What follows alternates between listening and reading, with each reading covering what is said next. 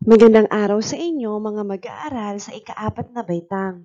Ngayong araw ay magkakaroon tayo ng makabuluhang talakayan.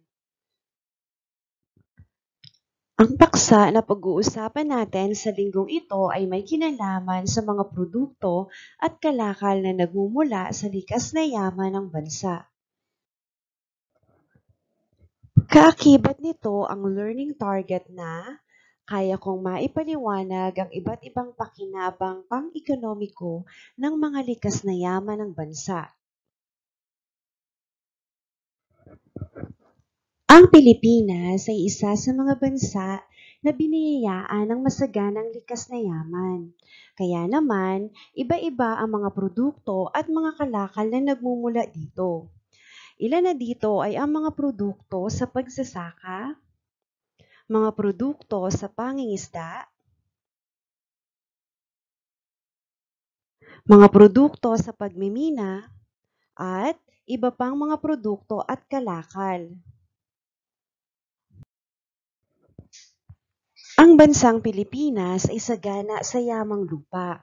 Dahil dito, ang Pilipinas ay sagana sa mga produkto na nagmumula sa pagsasaka at pagtatanim kagaya ng palay, mais, nyog, pinya, abaka, saging, mangga, kape at iba pa.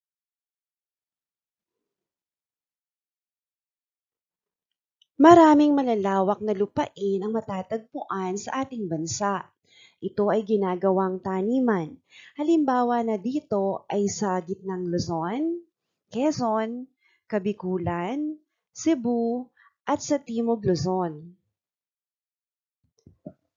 Ang Pilipinas ay isang kapuluan.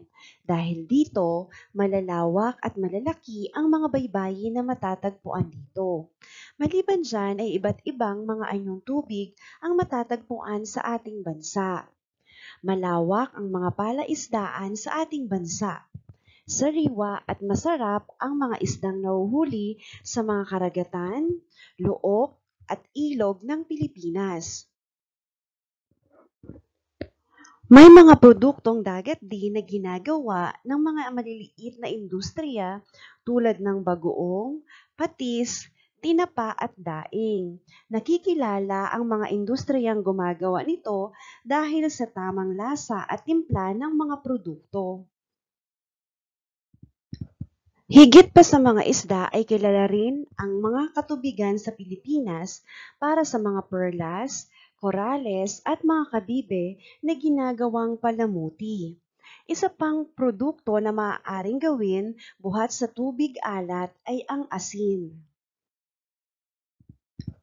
Higit pa sa mga isda ay kilala rin ang mga katubigan sa Pilipinas para sa mga perlas, korales at mga kabibe na ginagawang palamuti. Isa pang produkto na maaaring gawin buhat sa tubig alat ay ang asin.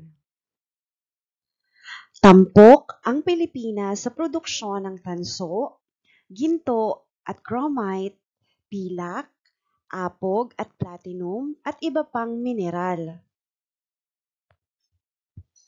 Matatagpuan ang mga halimbawa ng mga minahan sa Baguio, Camarines Norte at Davao na kilala sa pagmimina ng ginto.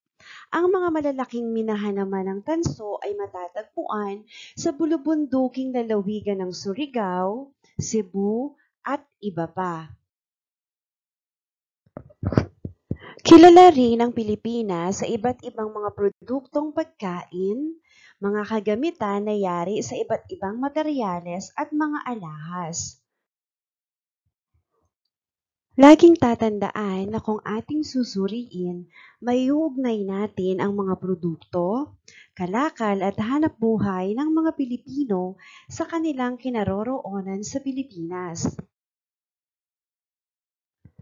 Tandaan din na ang mga hanap buhay, produkto at kalakal ng mga Pilipino ay nagmumula sa paglilinang ng mga hilaw na materyales na kanilang nakukuha sa likas na yaman. Bilang panghuli ay lagi nating iisipin na ginagamit natin ang ating mga likas na yaman upang matugunan ang ating mga pangangailangan.